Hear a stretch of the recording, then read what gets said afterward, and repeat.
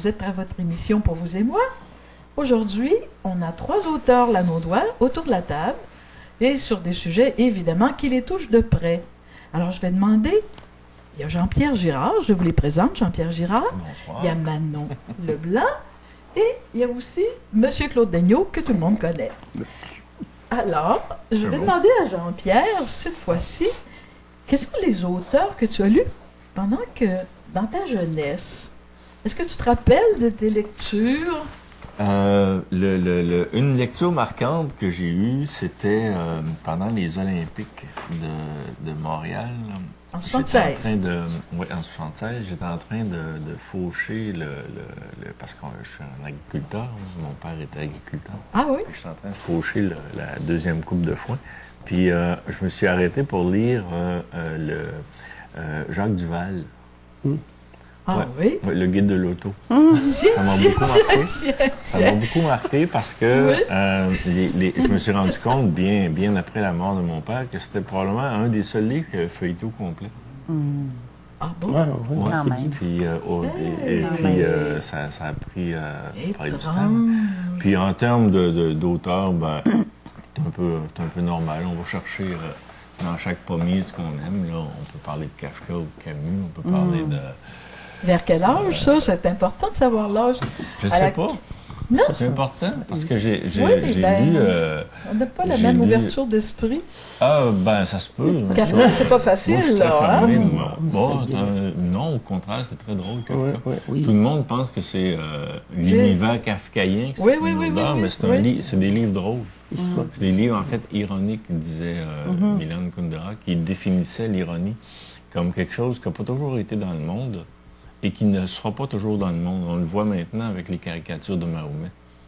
Oh! On n'est plus capable de rire de rien, là. Oui, Non, non. oui, je Oh, oui. vois. Donc, l'ironie, c'est pas le, le sarcasme, c'est pas l'humour. L'ironie, c'est notre capacité à prendre une distance à l'endroit des choses qui nous concernent. Oui. Donc, si ça Très me concerne, sage. moi, Oui, oui. euh, là, ça devient très grave, ça devient très important. Puis je suis capable de trancher des poignets là, avec Mhm. ma machette. là. Alors que non, l'ironie, c'est justement être capable de prendre une distance en regard de nos croyances, en regard de nos convictions. Oui. Et ça n'a pas toujours été là dans le monde, et ce ne sera pas toujours là. Je pense qu'on rentre dans une ère où l'ironie, pardon. C'est très philosophique, est, euh, ça? Non, c'est- c'est comme. Ben, euh, c'est- un peu la, la vision de...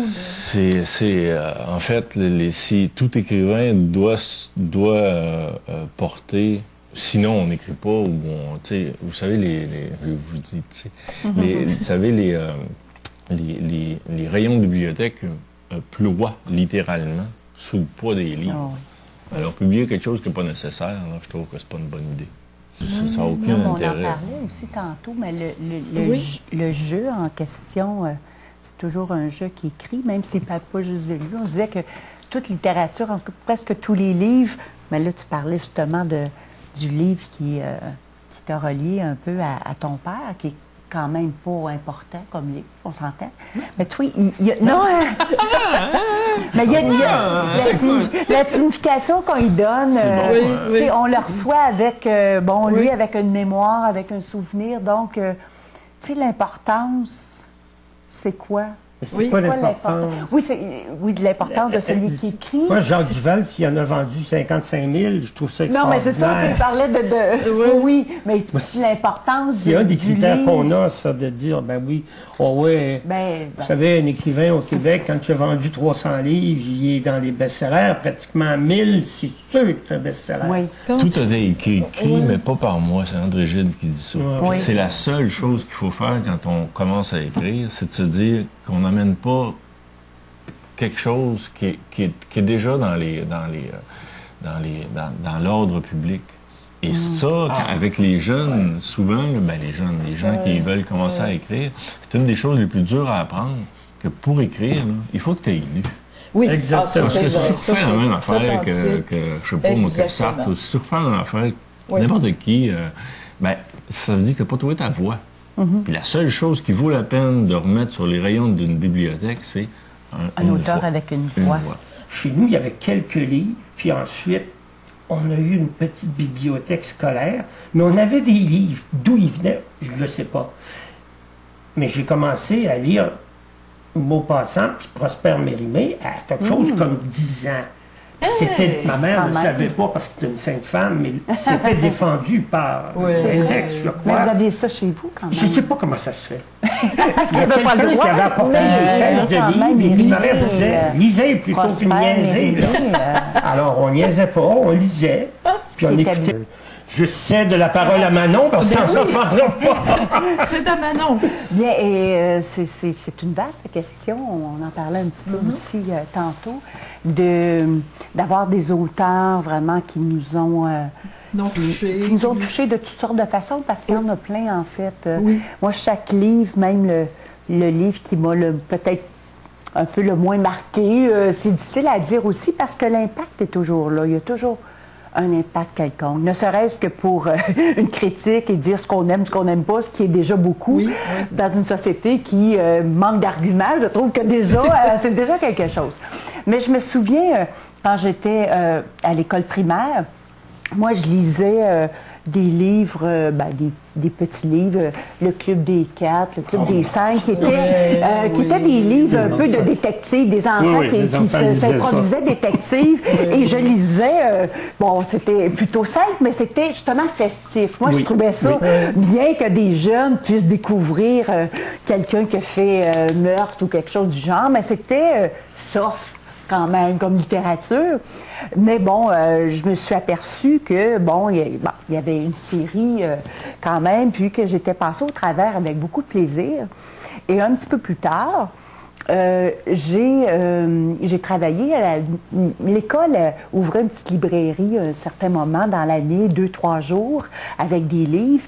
Et moi euh, on m'avait pour toutes sortes de raisons désigné parce que j'aimais ça lire j'imagine mais pour aller y travailler.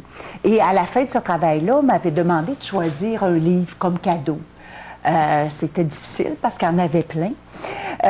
J'avais choisi La Comtesse de Ségur, qui était quand même euh, hein, une bonne lecture, mais je ne savais pas là, euh, qu'est-ce que j'allais y trouver, mais la page couverture me m'attirait. Hein, on est souvent attiré. On disait Oh, tantôt, c'est oui. le plaisir d'un livre. Oui. Il y a quelque chose d'attirant, puis chez un enfant, peut-être davantage aussi. Et je trouvais quand même assez épais. Ah ouais, je me disais, si je passe au travers de ça, je vais être pas mal intelligente, tu sais, je vais être pas mal bonne. En plus d'être fictif, il y avait quelque chose comme de, une espèce de plaisir à, à le lire aussi, tu sais, à passer au travers. Et je l'ai lu d'une traite. Et c'est ce livre-là qui m'a fait un peu découvrir la force du mot, des mots, la force de, de l'histoire, parce que j'ai pleuré, pleuré, pleuré. Ah oui. Puis là, je me disais, mon Dieu, comment ça se fait un livre? Tu sais, j'essayais de me détacher, mais l'histoire, pour moi, à cette époque-là, était te signifiante, significative. Et là, je me souviens euh, avoir refermé le livre, m'était pas m'être dit, je vais devenir écrivaine, sûrement pas. Mais là, euh, dans un livre se trouve une force que moi j'ignorais à ce moment-là. Donc le contact, bien qu'il avait été créé par le plaisir avec le Club des cinq et, tout ça, là, euh, il y avait une émotion extrêmement forte. Et là, j'ai découvert vraiment le plaisir, mais, mais plus que le plaisir, euh, la force du livre et des mots. Et je m'en souviens encore beaucoup. J'étais assise et Oui, tout ça, l'impact que ça m'a fait. Et euh, je l'ai encore, le livre d'ailleurs. Après Ah, toutes ces années, il m'a suivi tout le temps parce que je j'ai jamais pu m'en débarrasser parce que pour moi, il est, Oui, il une est important. Et je me dis, un jour, je vais le relire juste pour voir. Oui, je oui, l'ai pas refait, euh, juste Un pour jour. voir, euh, mais je me souviens quand même de l'émotion. Donc, j'étais, tu sais, on- les enfants, j'étais assis confortablement dans mon lit. Tu sais, il y avait, euh, il y avait un plaisir de de s'étendre aussi, puis d'avoir ça, puis de pleurer en même temps. Tu sais, le plaisir oui. d'être bien, puis en même temps d'être débordé de... c'est- une belle... euh, C'est un beau souvenir pour moi. Et... euh, Bon, je pense que ça s'est pas je démenti, cette force de l'écriture. Ouais. Évidemment, on le sait, nous, on, on écrit, mais euh, l'impact que ça peut créer chez le lecteur est C'est- c'est- c'est- je incroyable. pense qu'il y a aussi d'autres influences. Moi, j'ai eu comme